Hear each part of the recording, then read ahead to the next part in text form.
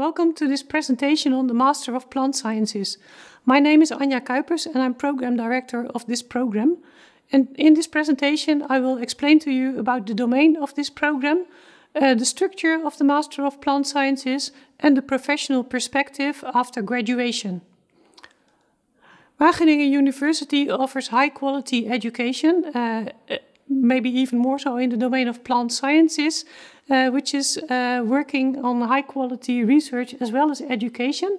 The education at Wageningen University has been acknowledged for more than 15 years on a row with a top one position in the Keuzegids, which uh, compares Dutch universities. So this uh, means that the uh, Wageningen University is a unique and inspiring environment for students uh, which offers top level innovation in research and in education. And as a student, you can uh, already participate in this research of Wageningen University, specifically the plant sciences domain, for example, in your master thesis in the second year of your master.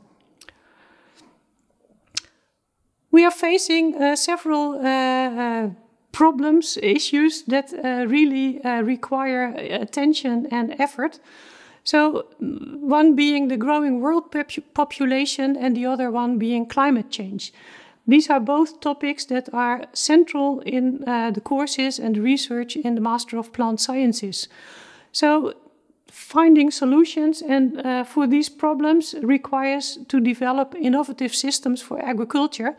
And the Master of Plant Sciences uh, will offer you the tools to help developing these new solutions to fight uh, climate change and to produce sufficient food for the growing world population. So that means that we need to develop uh, systems for resilient crop production. In common agriculture, resources are becoming uh, increasingly scarce. So that means that with less inputs, higher yields need to be achieved. So this uh, really needs studying crop growth. Uh, and when knowledge on how crops are growing is available, this can be uh, input for crop models that uh, can predict yields, for example. When these crop models uh, offer sufficient data, this can be used as a source for precision farming. Uh, so, for example, in this field, you can see red areas and green areas. The green areas uh, go towards sufficient yields, but the red areas are uh, missing something. So through the models and the precision farming, you can supply specifically the red areas with water or nutrients that are required to optimize the yield. Another example of resilient crop production is horticulture. So in general, conventional horticulture requires a lot of space, water and energy.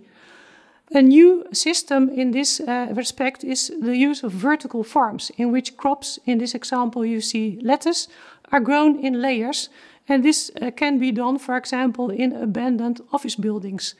So by developing such a system, uh, you can develop a, a vertical farming crop system which is much more efficient and can be fully controlled uh, regarding the water availability, nutrient supply, and uh, for example, by using LEDs instead of conventional lights, uh, less energy is needed to grow these crops.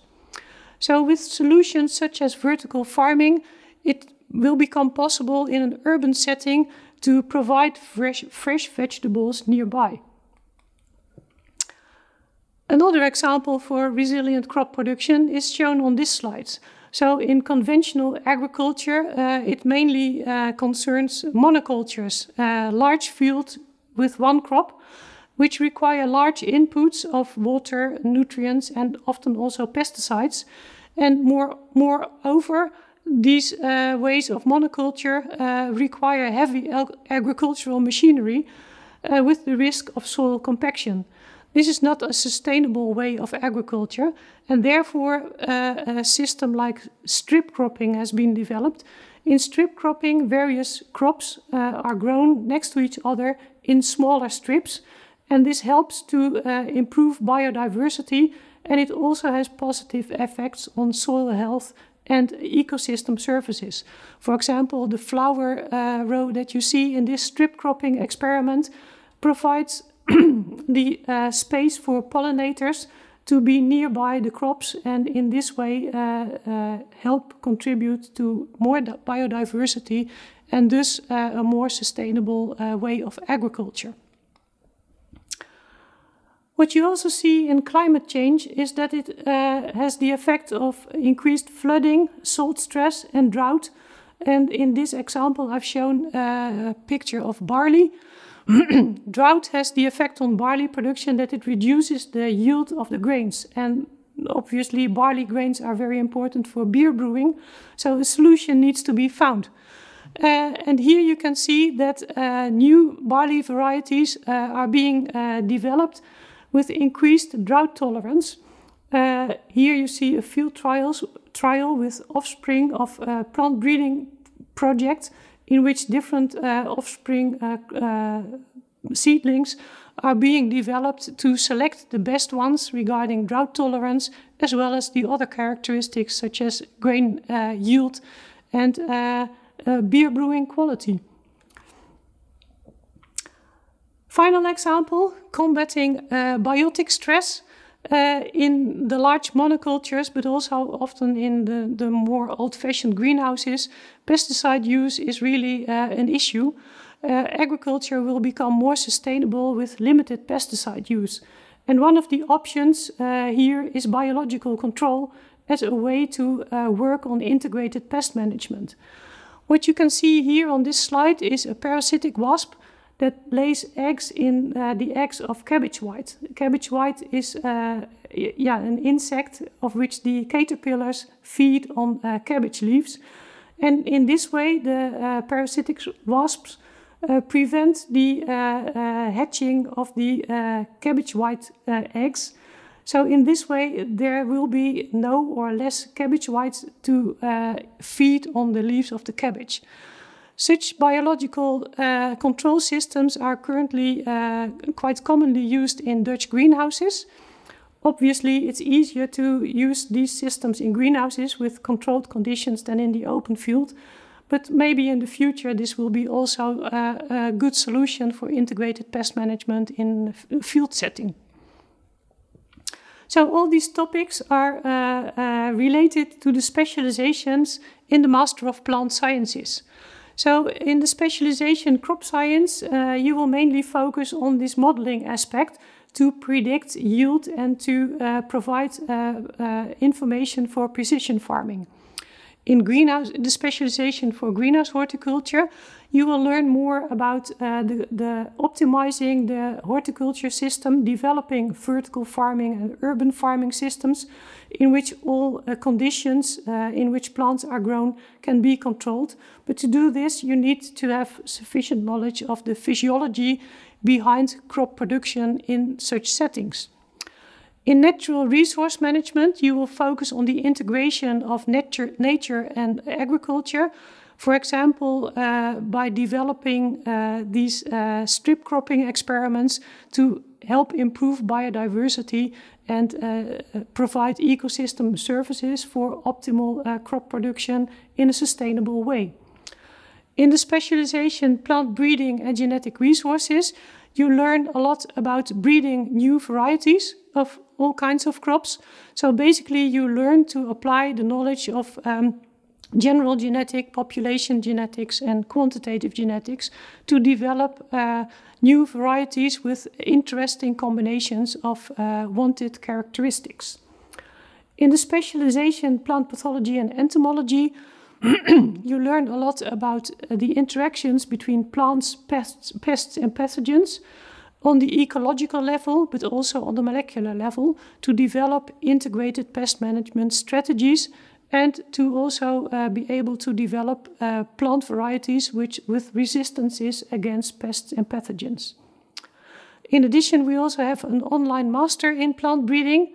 Uh, if you want to know more about that program, I would advise you to contact us at the online master open day.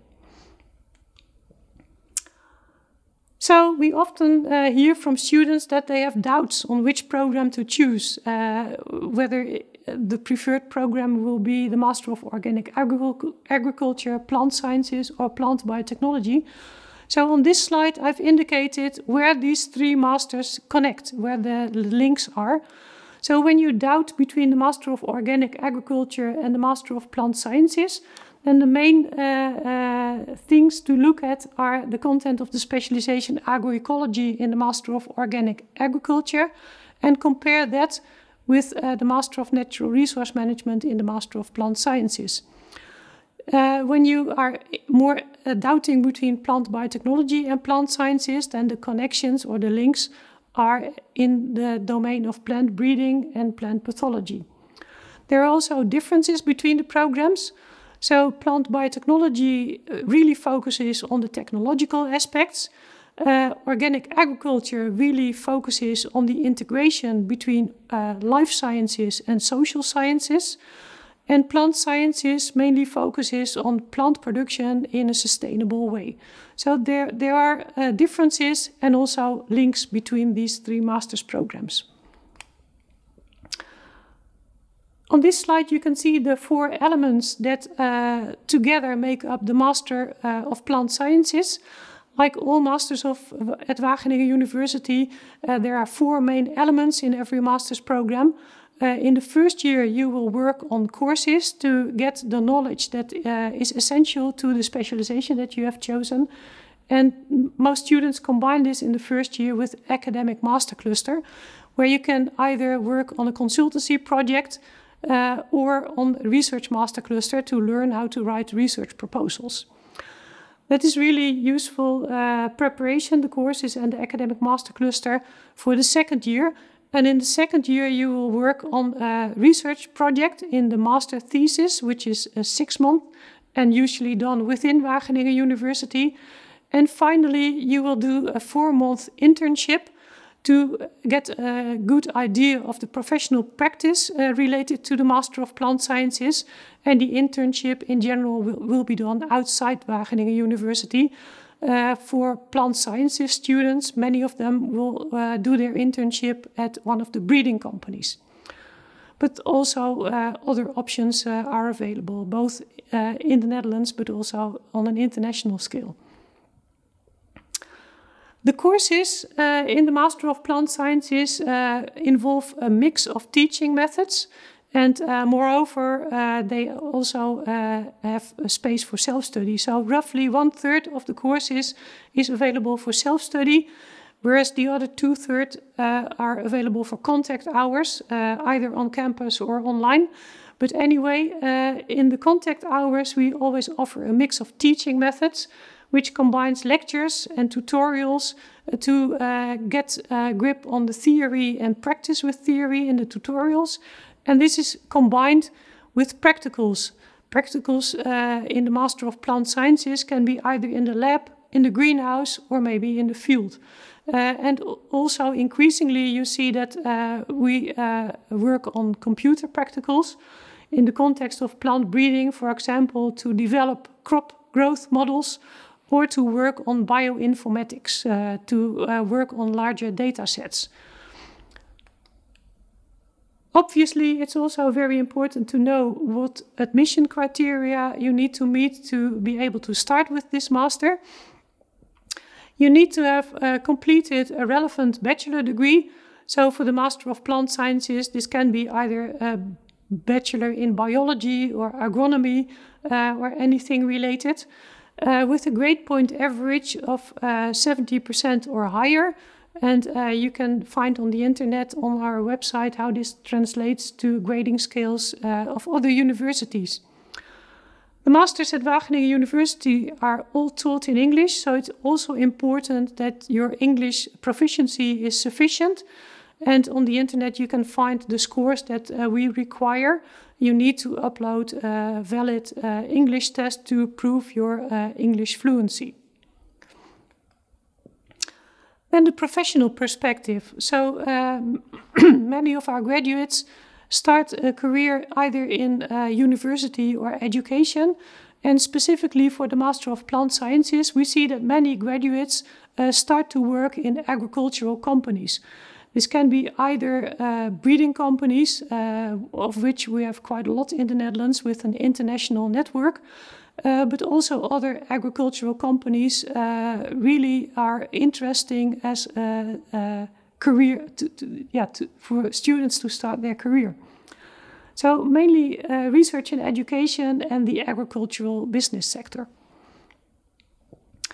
If you want to know more uh, from one of our students, uh, we have made a uh, video with Lotte. Lotte uh, did both the Master of Plant Sciences as well as the Master of Plant Biotechnology.